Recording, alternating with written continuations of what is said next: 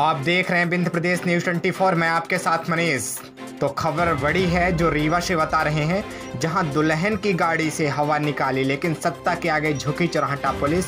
रीवा ज़िले के चौराहटा थाना पुलिस का एक वीडियो वायरल हुआ है, जो कि अपने आप में एक शर्मसार कर देने वाला वीडियो है, जहाँ एक और दूल्हे और दुल्हन की गाड़ी जा रही थी, जिसको रुकवा कर तेज कड़ी धूप में गाड़ी की हवा निकाल दी, जिस वजह से कई किलोमीटर तक गाड़ी को किसी तरह से ले जाया गया।